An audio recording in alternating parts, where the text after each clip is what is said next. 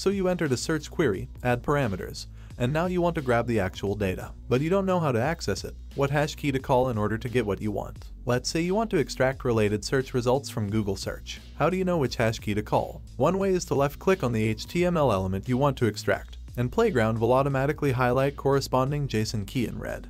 There's also another way. Click on the setting icon in the top left of the JSON output. You'll see a Show JSON Path and Show JSON X-Ray Borders options. Click on the checkbox or checkboxes to apply. Show JSON Path option is very handy to quickly understand which hash keys to call in order to extract the data. Playground even shows the index of each key value. This is useful if you want to extract something from a nested JSON. Show JSON X-Ray Borders is helpful to show you what is being parsed by SerpApi.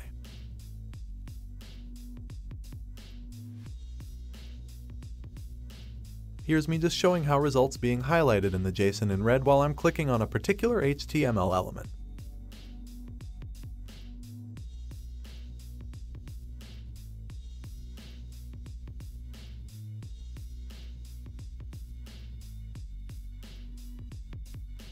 Don't forget to use Export to Code Playground feature that generates boilerplate for you.